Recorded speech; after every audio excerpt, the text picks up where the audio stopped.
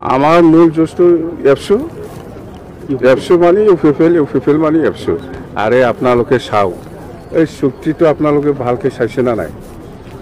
ইয়াত অকল বড়োসকলৰ শব্দহে লিখিছে জানে? এই বি টি আৰ চুক্তিত। তাৰমানে প্ৰমোদ বড়োৰ এই বি টি আৰ চুক্তি মতে বড়ো আৰু উনাবোৰক মাৰপিট কৰি পেলাই মৰিব লাগে। আপোনালোকে চাইছেনে নাই এইবিলাক? এইটো চুক্তি যদি ৰূপায়ণ হ'ব লাগে শেষ হৈ যাব। এই জাতিকে শেষ কৰা কোনটো জাতিক চেছ কৰিব ছাৰ? বড়ো জাতিকে শেষ কৰিব না প্ৰমোদ বড়োৱে। পাকল তুই অনাবৰৰ লগত ফাৰে বড়ো বড়ো খোজ নাছে মই কৈছোঁ এই বি টি আৰ চুক্তিত কোনো বেলেগ জাতিৰ উল্লেখ নাই। কালি বড়োসকলৰ স্পেচিফিক মেনশ্যন আছে। খেলি পৰা নাই আপোনালোকে। এনেকুৱা চুক্তি হয় নেকি? আমাৰ বি টি চিৰ চুক্তিত আছে বড়ো এণ্ড আধাৰ এইবিলাক বিভিন্ন জাতি জনগোষ্ঠীৰ মেনশ্যন আছে না আপুনি চিগনেটাৰী আছিলে ছাৰ সেই সময়ত। ক'ত এই BTS one of the B T R signatory, চুক্তিটো মই.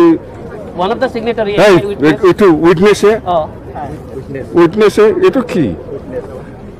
তাৰমানে মই কৈছে বি টি আৰ চুক্তিত অকল বড়োসকলৰ কাৰণে কথা কোৱা হৈছে। কোনোবা অসমীয়া বেংগলী বা মুছলিম বা ৰাজবংশীৰ কথা উল্লেখ নাই। কিন্তু এই আমাৰ বি টি চি চুক্তিটো চাবি চব জাতিৰ বড়ো জাতিক ধ্বংস কৰি দিব আৰু সেই চুক্তিটো ছাৰ ভেলুলেছ চুক্তি ভেলুলেছ চুক্তি বি টি আৰ চুক্তিটো বড়ো জাতিক ধ্বংস ভেলুলেছ লাষ্ট আজমল যদি মুখ্যমন্ত্ৰী হয় আপুনি ছাপোৰ্ট কৰিব নাই? এই শুনা মই বি টি চি নিৰ্বাচনটো যাব দে চৰকাৰ বনাব দে মোক ইয়াৰ পিছত মই আছামৰ পলিটিক্সৰ কথা ক'ম। ছাৰ হেৰি ক্ষেত্ৰত ক্ষেত্ৰত কি ব্যৱস্থা গ্ৰহণ কৰিব? আপোনাৰ ৰঞ্জন দৈমাৰীৰ ক্ষেত্ৰত কি ধৰণৰ ব্যৱস্থা মইতো কৈছোঁ মই আজি এক্সাম্পল দিছোঁ না নাই? হয় খেচটো থাকিব শেষ নহয়। আজি অৰবিন্দ ৰাজখোৱা ডাঙৰীয়াৰ খেচো চলি আছে। অনুপ চেতিয়া ডাঙৰীয়াৰ খেচো চলি আছে। শস্য চৌধুৰীৰ খেচো চলি আছে। ইহঁতে শান্তিৰ কাৰণে আলোচনা কৰিবলৈ আহিছে। সেইকাৰণে সেইকাৰণে জেলৰ পৰা চব আলফা লিডাৰসকলক মুকলি কৰি দিছে। ইহঁতে শান্তিৰ নামত আলোচনা হৈছে না নাই? ভাৰত চৰকাৰ আৰু অসম চৰকাৰ বা আলোচনা চলি আছে আলফাৰ। যদি আলোচনা চলিব লাগে তেতিয়াহ'লে লিডাৰসকলক জেলৰ পৰা ওলাব লাগিব। এই হিচাপত এই হিচাপত ওলাই দিছে। এতিয়া শান্তিৰ চুক্তি কৰিলে শান্তি বিচাৰি পেলাই শান্তিৰ নামত চুক্তি কৰিলে এন ডি এ। বিয়ে তো জেলত থকা লিডাৰসকলে ওলাব লাগিব না নাই? যদি শান্তি হ'ব লাগে যদি শান্তি হ'ব লাগে। তো এইকাৰণে কৈছোঁ মই জেলৰ পৰা ওলাব কেছটো চলি থাকিব হয়। পাঁচ বছৰ লাগিব পাৰে দহ বছৰ লাগিব পাৰে কেছটো চলি থাকিব মানুহবিলাক ফ্ৰী হ'ব লাগিব।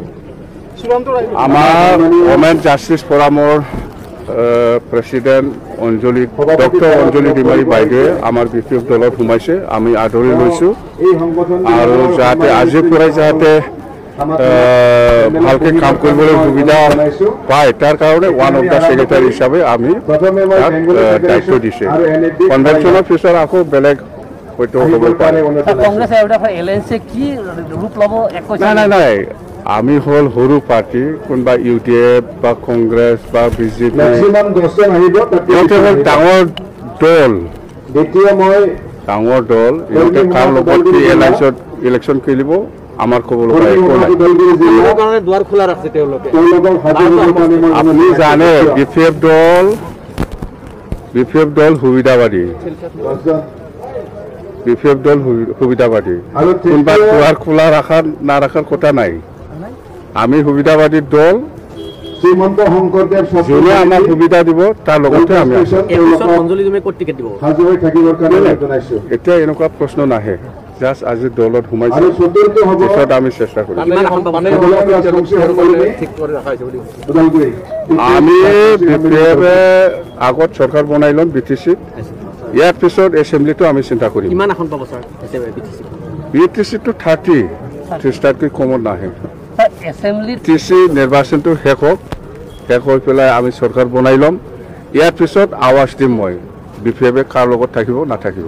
সৰ্বানন্দ সোণোৱাল আৰু হিমন্ত বিশ্ব শৰ্মা কোন যোগ্য হয় মুখ্যমন্ত্ৰীৰ বাবে?